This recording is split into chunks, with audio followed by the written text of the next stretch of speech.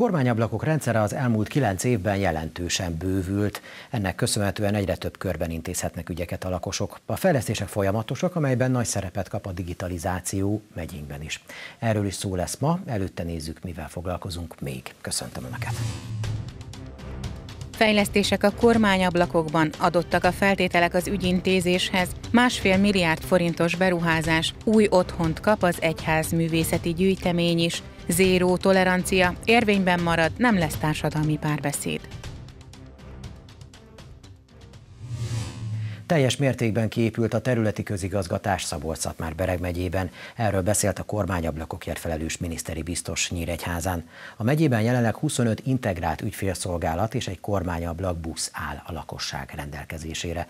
A járvány második hulláma során felkészültek az irodák az ügyfelek biztonságos fogadására, érdemes azonban továbbra is előre időpontot foglalni, és lehetőség szerint online intézni az ügyeket. Magyarországon 2011-ben vált világosan ketté a közigazgatási és önkormányzati jogkörök és ezzel kapcsolatos ügyintézések hatásköre. A rendszer később a járási hivatalok felállításával még hatékonyabbá vált, ennek is köszönhető, hogy már a országszerte közmegelégedés övezi az ügyintézések menetét. Múlt héten Domokos Péter kormányablakokért felelős miniszteri biztos látogatott el Nyíregyházára, és egyeztetett a Szabolcs-Szatmár Bereg megyei kormányhivatal hivatal és főosztály vezetőivel a jelenlegi körülményekről és az elmúlt hónapok tapasztalatairól. Szabolcs-Szatmán Bereg megyében gyakorlatilag elkészült a, a komplet hálózat. Míg más megyékben vannak még olyan okmányirodák, akiket át kell alakítani kormányablakokká, itt a 25 kormányablak, amiből Nyíregyházán három található, és a 2018 óta működő kormányablak busz, valamint a települési ügysegédrendszer, az az én meglátásom és az itteni kollégák meglátása alapján is egyrészt átlag feletti, a másik pedig az, hogy további bővítésre nincsen szükség. Azt gondoljuk, hogy a megyének a lakossága megfelelő színvonalon el van látva ezzel a hálózattal. Tavaly éven adtunk át Nyírbátorban egy új járási hivatal épületet, ahová a kormányablak átköltöztetése még nem történt meg különböző technikai okok miatt, ezt szeretnénk megvalósítani, és gyakorlatilag én azt gondolom, hogy ezzel teljes és kompaktá válik a, a megyei rendszer. A feladatunk az az, hogy minél hatékonyabban és minél szakszerűbben tudjuk működtetni ezeket a kormányablakokat. Szabadszat már Bereg megyében 25 kormányablak van. Az ország más területeivel ellentétben már nálunk nincsen olyan okmányiroda, ami ne került volna átalakításra a kormányablakká. Ugye ez nem csak egy egyszerű névváltozást jelent, hanem egy sokkal szélesebb ügykör elintézésének a lehetőségét. Emellett van egy kormányablakbuszunk, amely a megyében rendszeresen megjelenik településeken, rendezvényeken, valamint egy nagyszámú ügysegédi rendszerrel dolgozunk, vagyis a kormányhivatalokban dolgozó kollégáink rendszeresen felkeresik a településeket, ahol lehetősége van az állampolgároknak az ügyeik elintézésének a kezdeményezésére. Emellett, ami azt gondolom, hogy ami rendkívül fontos az az, hogy egyre több lehetőség nyílik meg az ügyintézésben az elektronikus alapú ügyintézésre. Ez ügyben is én biztatnék mindenkit, hogy mielőtt fogja magát autóba ül és eljön az ügyfélszolgálatunkra, az ezzel kapcsolatos, az ügyintézéssel kapcsolatos információkat gyűjtse be, mert elképzelhető egyébként, hogy az az ügy, amiben ő fel kívánja keresni a, a kormányablakot, az az ügy elektronikusan is intézhető már. Úgyhogy azt gondolom, hogy ez a, az irány az, amely nagyon fontos lesz továbbra is, tehát az elektronikus alapú ügyintézésre fokozatosan zajlik az átállás. Nyilvánvalóan ennek vannak korláta is bizonyos területeken, de egyre inkább abba az irányba haladunk, hogy minél több ügyet otthonról is kényelmesen lehessen elintézni. A kormányablakok rendszere az elmúlt kilenc évben folyamatosan bővül, ennek köszönhetően egyre több körben intézhetnek ügyeket a lakosok. A fejlesztések folyamatosak, melyben nagy szerepet kap a digitalizáció. 2011 magasságában 20, az első generációs kormányablakok 29 ügyet intéztek. Egy kormányablakot gyakorlatilag egy gyors étteremhez is tudok hasonlítani, az ország bármely pontján elérhető, és ugyanazt a szolgáltatást kapja meg az ügyfél az állammal kapcsolatban, mint amit egy gyors étterem vonatkozásában, úgy, hogy az ügyfél, tehát abszolút nem érdekli a, a gyors étteremben, hogyha vesz egy hamburgert, akkor abból honnan van a hús, vagy milyen típusú salátát raknak bele, ő ugyanazt a szolgáltatást várja, és nem érdekli, hogy a háttérben milyen folyamatok zajlanak. Gyakorlatilag ez a kormány kormányablak rendszernek a lényege, hogy a kormányablak buszokkal is együtt jelen pillanatban országosan 304 helyszínen ugyanolyan színvonalú, magas színvonalú szolgáltást kapnak a kormányablak ügyfelei, az területi közigazgatással szembe találkozó ügyfelek. Ami a legfontosabb az az, hogy a 29 ügykörből először még 144, majd később 500, most pedig gyakorlatilag 1500 ügykörben állnak a kormányablak effektív az ügyfeleknek a rendelkezésére. 40-50 azoknak az ügyeknek a száma, amelyek nem a kormányablakban intézendők, de erre viszont tájékoztást kapnak az ügyfelek. Mondok egy példát, ha valaki például a lakására egy jelzáljogot szeretne bejelenteni, azt a kormányablakban nem tudja bejegyeztetni, ezt a földhivatalhoz kell fordulni, de ezt a kormányablak ügyintézők elmondják nekik. És mindez kiegészül a kormányablak buszokkal is, ami egy komplett kormányablak ügyintézést tesz lehetővé, tehát szintén a buszok, ugye kitelepülnek a különböző önkormányzatok vagy egyéb épületek mellé, és itt mintegy 4500 ütkörben állnak az ügyfeleknek a rendelkezésére. Ez egy egészen érdekes és nagyon innovatív találmánya a magyar közigazgatásnak. Magyar ügyhöz is tudnám hasonlítani azt a típusú reformot, amelyet itt végrehajtott a kormányzat 11 óta. Természetesen az ügyköröknek a 87%-a az okmányügy személyigazolvány, vezetői engedély vagy köznevén, jogosítványnak a cseréje, útlevélügyek, diákigazolványügyek, és ezen túlmenően persze aztán utána a családtámogatással, meg az egyéb jellegű éppen aktuális kormányzati intézkedések kapcsán is sok ügykör van, de túlnyomó részt, tehát majdnem 90%-a a kormányablakban intézett ügyeknek az mai napig úgynevezett okmányügy. A háttérben rengeteg fejlesztés zajlik, rengeteg olyan uniós és magyar finanszírozású projekt van, amik azokat a szakrendszereket érintik, amelyeket az ügyintézőink használnak. Indulni fog egy új tudástár, rendszer, aminek egyébként az állampolgárok is látni fogják a hasznát, mert van a magyarország.hu, ami egy személyre szabott ügyintézési felület minden állampolgárnak a számára, és ide is ki lesz vezetve a tudástár. Ez alatt azt kell érteni, hogy azokban a népszerű ügyekben, amelyekben az ügyfelek a kormányablakot felkeresik, egy egyszerű és ügyfélbarát megfogalmazással információkat tudnak kapni arról, hogyha például elveszett a jogosítványa, ki akarja cserélni, akkor erre milyen egyéb dokumentumokra van szükség. Tehát van egy csomó informatikai fejlesztés, és a legfontosabb talán az ügyintézőknek a képzése. Egyrészt a Covid időszak alatt is arra használtuk fel a, a, ezt az időszakot, hogy az ügyintézők elsajátítsanak különböző olyan területeket, amelyeket korábban nem intéztek, például egy gépjármű ügyintéző is tudjon személyokmányjal kapcsolatos ügyeket kezelni, és fordítva, és ezen túlmenően pedig a további szakrendszerekkel való képzések vonatkozásában is nagy hangsúlyt szeretnénk fordítani arra, hogy a, az ügyintézőinket képezzük. Tehát a képzések és az infrastruktúra fejlesztés az, ami ebben a megyében jelentkezni fog. Más megyékben például azért van még szükség egyéb kormányablakbusznak a beszerzésére, vagy pedig meglévő okmányirodáknak az átalakítására, de ebben a megyében ez a két dolog, a képzés, illetőleg a szakrendszernek a fejlesztése az, ami a jövőben a feladat. A márciusban berobbant koronavírus járvány a közigazgatásra is nagy terheket rótt. A második hullám során már nem kötelező előreidőpontot foglalni az ügyfeleknek, azonban minden irodának fel kellett készülnie az ügyfelek biztonságos fogadására Twitter. Gyakorlatilag kettőféle dolog van, amit össze tudnék foglalni annak kapcsolatban, hogy jelen pillanatban mivel szembesül valaki most egy kormányablakban. Egyrészt tud menni időpont nélkül is, és egy pici kellemetlenség talán az lehet, hogy bizonyos esetekben, hogyha az egy időben, az adott légtérben jelenlévő ügyfeleknek a száma egy bizonyos határt meghalad, akkor esetleg kívül kell várakozni a helységen kívül, miután az ügyét ugye tudja intézni. Ezen kívül a maszk viselése kötelező mind a mi ügyintézőink, mind az ügyfeleknek a számára is. Készfertőtlenítő rendelkezésre minden kormányablakban, és ezen túlmenően mostanra éppen a, ezen a szakmai fórumon állapítottuk meg, hogy a megyében sincs egy olyan front office munkállomás sem, ahol ne lenne plexüveggel védve mind az ügyintéző, mind az ügyfél.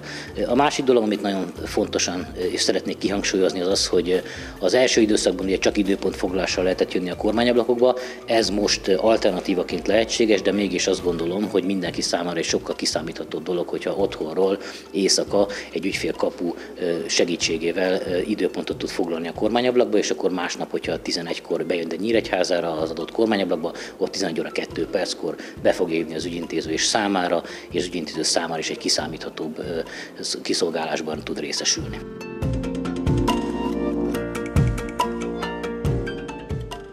Közben meg kell küzdeni a járványal, közben az államnak működnie kell, és azokat a szolgáltatásokat, azokat az ügyintézni valókat, amelyeket egyébként el kell végezni, azt ugyanígy meg kell tenni. Nyilvánvalóan vannak és voltak olyan könnyítések, amelyek elősegítik azt, hogy minél kevesebb kontaktusra kerüljön sor. Ilyen volt például az, hogy a tavaszi időszakban csak előzetesen bejelentkezve, regisztrálva lehetett megjelenni a kormányablakokban, és azóta ez ugye már feloldásra került, de továbbra is javasoljuk azt, hogy előzetes időpontra egyeztetéssel jönnek az állampolgárok, annál is inkább, mivel nem szeretnénk a az ügyfélszolgálatainkon tumultus kialakulását, ezért célszerű a várakozási idő csökkentése miatt is egyébként ezzel a lehetőséggel élni.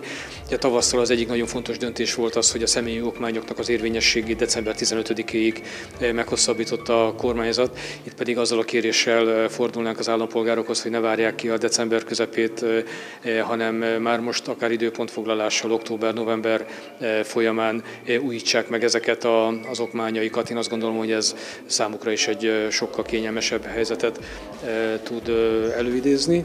Mi a magunk részéről arra törekszünk, hogy az ügyfélszolgálatainknak a fertőtlenítése az rendszeres legyen. A kormányablakainkat plexivel szereltük föl mindenütt a megyében, és hát abban bízunk, hogy adott körülmények között, de az ország működését, a hivatalok működését ezt fent tudjuk tartani.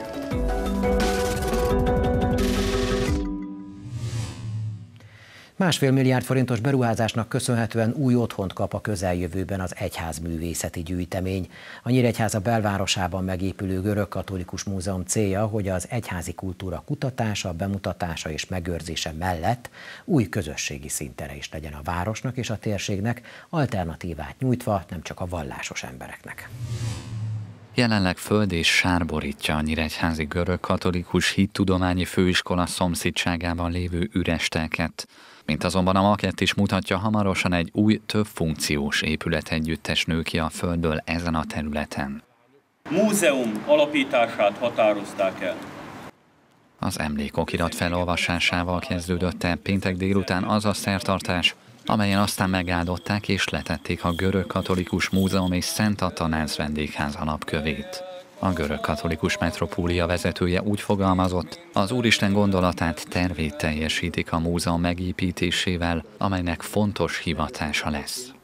Mindaz, ami a miénk, amiből élünk, ami, ami számunkra érték, amit mi kaptunk, azt úgy tudjuk felhasználni, hogy azon keresztül az egyház küldetését tudjuk teljesíteni. Az egyháznak pedig az a küldetés, hogy az Istenhöz közel vigyük az embereket.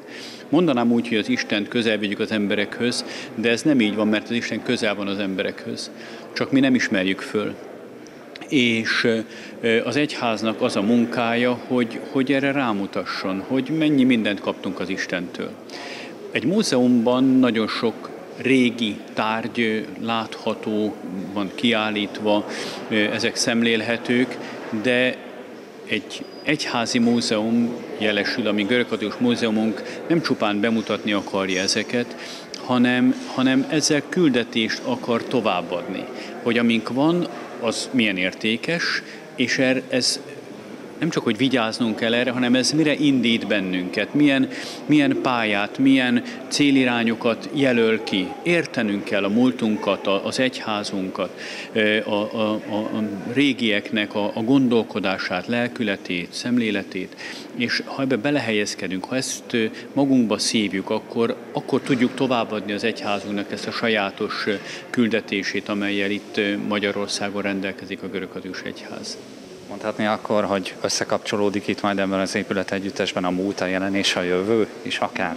Nyilván minden múzeumnak ez feladata, hogy, hogy a múlt tehát fölvonultatva hasson a jelenre és segíts a jövőt.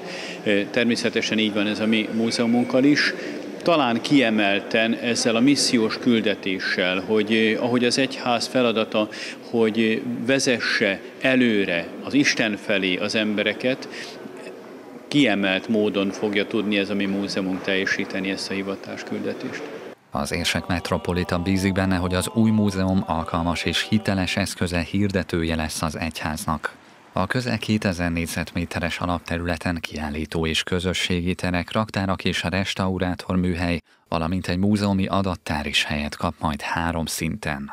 A létesítmény a kultúra közvetítés, valamint örökségvédelem mellett a tudományos kutatást és az oktatást kívánja szolgálni, segítve, erősítve a főiskola működését modern keretek között.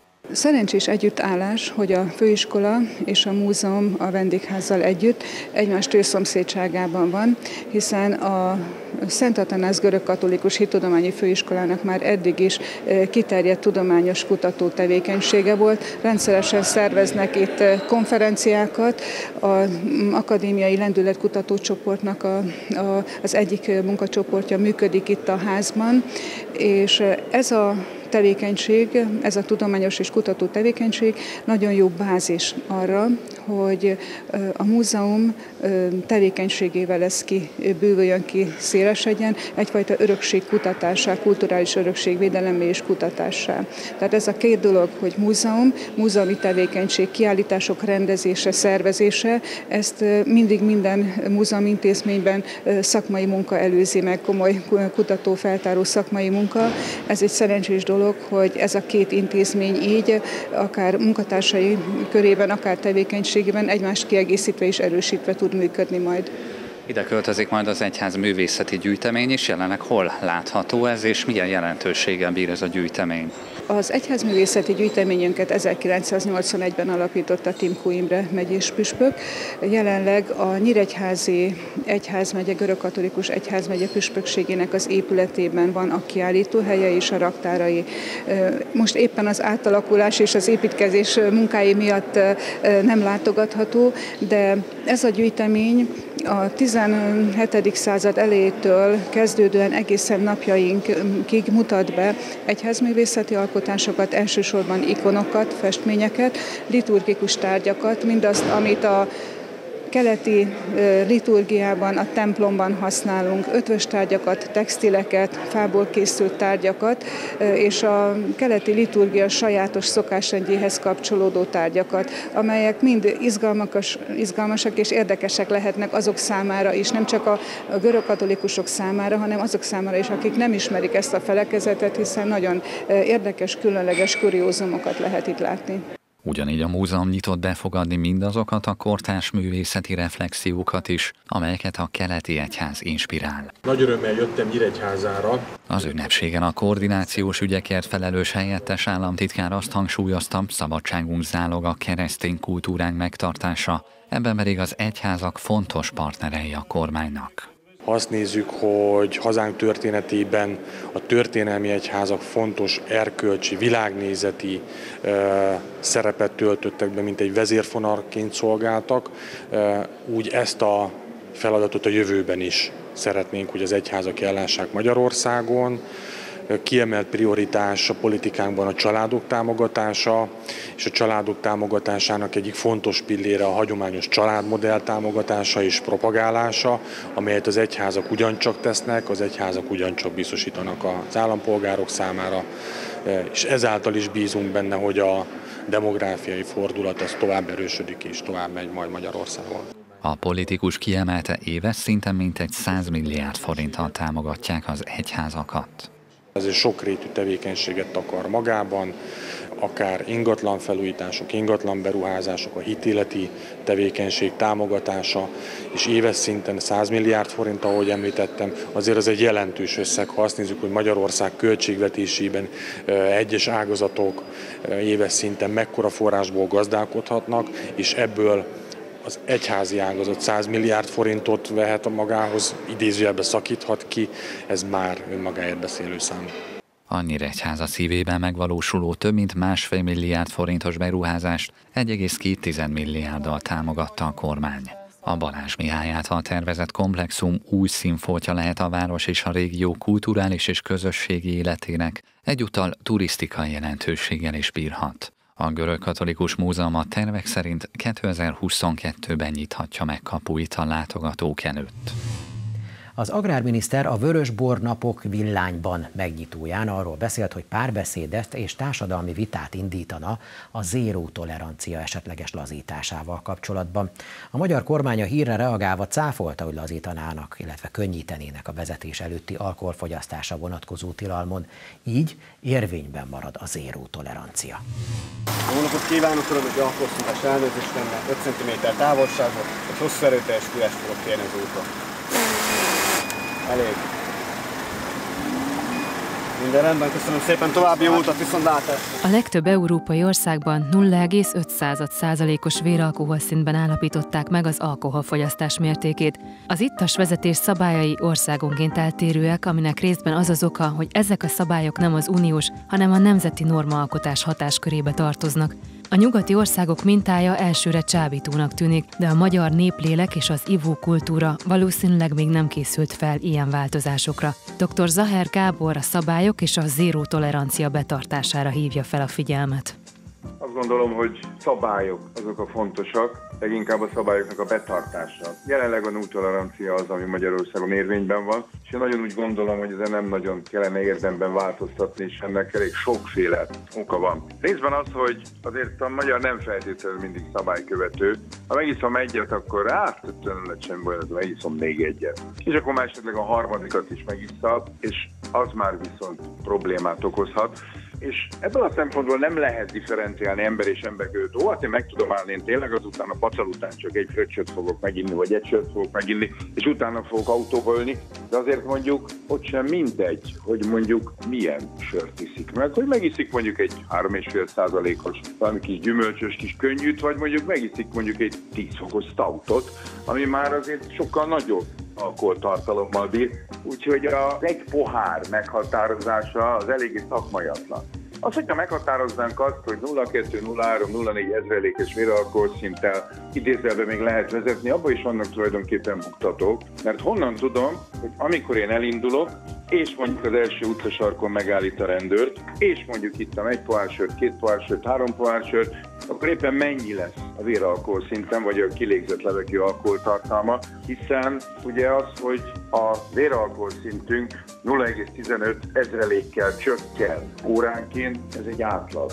Biztos van kedves nézők között is olyan, aki akár kétszer ennyit tud, de olyat is, aki fele annyit tud. És ezt nem lehet megmondani, hogy akinek barna szeme van és eláll a füle, az jobban bontja az alkoholt, akinek meg zöld szeme van és lelapult a füle, az meg kevésbé jobban bontja az alkoholt, és nagyon nehéz ezeket így pontosan kiszámítani, hogyha én ekkor ennyit ittam, akkor és ennyi kiló súlyú vagyok, mennyi a zsírtartalma, mennyi az aktuális víztartalma, szóval nagyon-nagyon sokféle ismeretlen van ebben az egyenletben, én úgy gondolom, dacára annak, hogy a külföldi példák azt mutatják, hogy lehet valamilyen mennyiség alkot fogyasztani, és hogyha azzal megbukik az illető, akkor nem történik semmi, de ha balesetet okoz, hogy valami olyan kriminális cselekményt, ami a gépjárművezetés és az alkoholfogyasztás együtt járt, és ez egy tolerábilis mennyiségű alkoholfogyasztás volt, akkor viszont nagyon-nagyon szigorúan megbüntetik. A véleményemet én változatlanul fenntartom, nem kell nekünk mindenből feltétlenül nyugati példákat átvennünk. Attól, mert hogy ott ez a szokás lehet, hogy egy más kialakult alkoholfogyasztási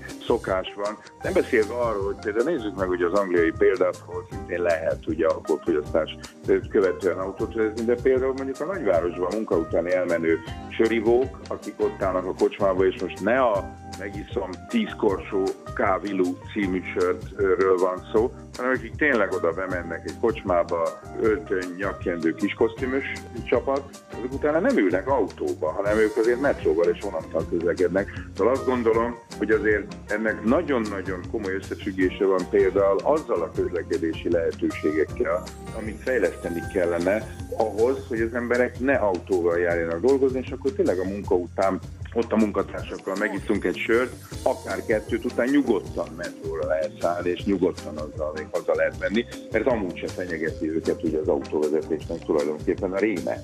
Szóval ez ennél egy sokkal-sokkal összetettebb dolog, mint hogy holnapról hozni egy döntés, hogy 0,3 ezerék véralkoholszint alatt lehet alkoholt vezetni, pont. Igen, de akkor ez biztosítani kell ugye azokat a feltételeket, hogy olyan legyen a tömegközlekedés, az elővárosi közlekedés, hogy ez egy működőképes dolog legyen.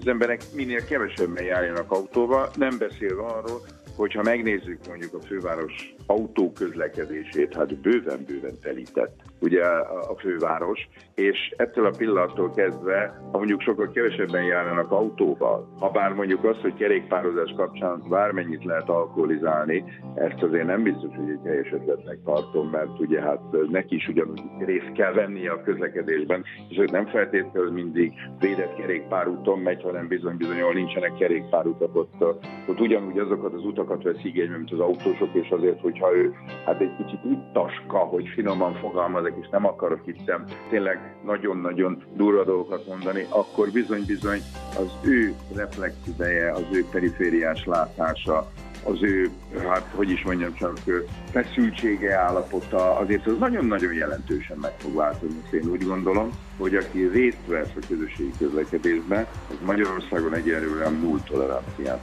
próbálja meg betartani, hiszen törvény is erről szól, és nem biztos, hogy a kerékpárosokat mondjuk ebből a történetből kellene vonni. Ha külföldi mintákra gondolunk az ittas vezetés kapcsán, óhatatlanul eszünkbe jut a mediterrán életérzés, egy kellemes baráti társaságban eltöltött közös vacsora és borozás. Olaszországban, Franciaországban vagy Spanyolországban teljesen elfogadott, hogy egy pohár ital elfogyasztása után autóval közlekednek az emberek. Gianni Anoni közéleti szereplő olasz származása miatt szorgalmazná az ivási kultúra változását és a szigorú közlekedési szabályok enyhítését is. A Dolce Vitához szerinte hozzá tartozik egy kis lazítás, ami mellett a szabályokat azért fontos alapul venni, hiszen a rendőrség Olaszországban is éberen figyeli a szabályszegőket de a spanyolok is szintén szerintem olyanok, hogy nem halálig isszák magukat. Szóval ott, ahol a tilalom van, és a tiltakozás hogy nem, mindig ez volt, ha így lehet mondani, lehet, hogy ez a múltról jön, ez a nemi harc, és amikor már lehetőség van, akkor az ember inkább csontra issza magát, vagy lehet, hogy éppen kulturálisan az ivászat máshogy közei nekünk egy része az étkezésnek, az életünknek, de látom azt, hogy rengeteg magyar így közelíti már, ha így lehet mondani, az italt. Nem az eszében nincsen olyan, hogy matta részegre, vagy éppen csontra részegre így a magát. Én azt gondolom, hogy valamilyen formában fontos lenne bevinni egy olyat, de nem mint vendéglátó is és érdekelt ember ebben a dologban, de abszolút mint élvezéti szinteket, én annyit tudok, hogy egy pohár vörösbor az orvos is javasolja természetesen, ahogy mondtuk, a mérce és a mennyiség fontos. Megállni tudom, hogy nehéz, azt mondja, ha egy bemegy, akkor kettő mérne, Na itt kell ügyesnek lenni az embernek, és elfogadni arra, hogy ha egy ilyen lehetőségünk adódik, ne tegyük tönkre azt a bizalmat, amit kaptunk, és próbáljuk komolyan úgy viselkedni, ahogy a nagykönyvbe be van írva. Mert ha a szabályot betartjuk, akkor az a, az, az egy pohár bor nem, nem, nem oszt, nem szoroz. Van egy eh, kábítószer ellenőrzés is nálunk, meg van egy, eh, egy eh, szondázás természetesen, és papírokat nézik, szóval minden ellenőriznek ilyenkor, nem csak arra, hogy valaki ittas vagy nem. Vannak olyan ráciák, vagy recié, nem tudom magyarul, ha jól mondtam el, ezeket a nagy mennyiségben, amikor így az autópályától már lehozzák úgy a kocsikat, hogy csak alkoholt néznek. Amikor tudják azt, hogy vannak nagyobb bulik, akkor ki is jelentik hogy ellenőrizni fognak mindenhol. Nem azzal a gond, hogy elkapják és majd jól megbüntetik, azzal, hogy figyelj, itt leszünk. Szóval ne így áll, ez egyfajta, így lehet gondolni, figyelmeztetés, hogy nem lesz lehetőséged abból a buliból, vagy abból a helyzetből úgy hazamenni, hogy ne legyen egy rendőrkocsi, aki megállít. Szóval ezek lehet, hogy ijesztő mondatok, de legalább az ember tudja, hogy érdemesebb nem inni, ha már el van mondva, hogy el lesz kapva, hogy el lesz ellenőrizve. Ez is lehet egy jó ha így lehet mondani, politika arra, hogy elmondani mindenki, hogy ma este, mit tudom, tólig mindenki ellenőrizve lesz, aki el lesz kapva. Többen gondolják úgy, hogy egy pohár alkohol nem oszt, nem szoroz. Sok embernek azonban éppen a mértékletesség betartásával van óriási problémája, mert képtelen uralkodni magán, hogyha elkezd inni. Az alkohol azonban erőteljes hatással van a vezetési képességünkre. A reflexidő megnyúlása, a perifériás látásnak a, a romlása, a közlekedési helyzeteknek a felmérése, az sokkal kevésbé reálisan történik meg. Nem beszélve arról, hogy azért az alkohol, mint baromi a feszültségoldószer, az, az bátorságot ad. Már úgy értem a bátorságot, hogy akkor a sebességhatárok be nem tartása, a kanyarba való nagyobb sebességgel történő belemenés, és alapvetően ugye az ember sokszor szokta mondani, hogy a részeget azért valahol védi az ő Isten, és azért ezekben a balesetekben nem mindig ő szokta rövidebbet húzni, hanem általában a vétlen fél. aki mondjuk akár bele is halhat ebbe az egész dologba. Szóval én azt gondolom, hogy maradjunk már meg ennél a fránya túltoleranciának. A szakember szerint a magyarok nem veszik figyelembe a saját korlátaikat, ha italozni kezdenek. Az országban nincs alkoholstratégia, rosszak a családi minták, és a megelőzésre sem fektetünk elég figyelmet. A koronavírus járvány miatt pedig egyre nagyobb a létbizonytalanság, ami szintén melegágya az alkoholfogyasztásnak, legalábbis az adatok ezt támasztják alá. Az biztos, hogy ez, ami most Magyarországon alkoholfogyasztás szempontjából van, ez nem éppen egy ideális helyzet. Sőt, egyáltalán nem egy ideális helyzet, hiszen most a legújabb becslések alapján kb. 17 liter 96%-os alkoholnak megfelelő mennyiséget fogyasztunk el évente. Ez elég sok azért, hogyha itt átszámoljuk söröcskére, borocskára, pálinkáskára, és ez csak az a mennyiség, ami után ugye legálisan adót fizetnek. Tehát pontosan tudjuk, hogy az országnak vannak egyes részei, ahol mondjuk nem feltétlenül mindenki tartja be, hogy az 50 literes pálinka főzési szabályt.